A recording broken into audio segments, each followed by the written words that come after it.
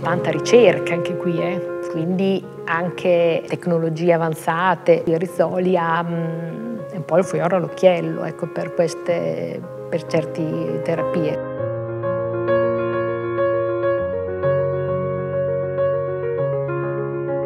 E la cosa che fa piacere è che il paziente eh, ha piacere di venire a Rizzoli, ecco, perché è un nome mondiale, ecco, credo di esagerare, però penso che sia in America, dove sono andata anch'io, cioè sanno cos'è il Rizzoli. Il Rizzoli, eh, a parte questa sua location che è veramente molto bella, eh, ma anche come centro di riferimento per tante patologie.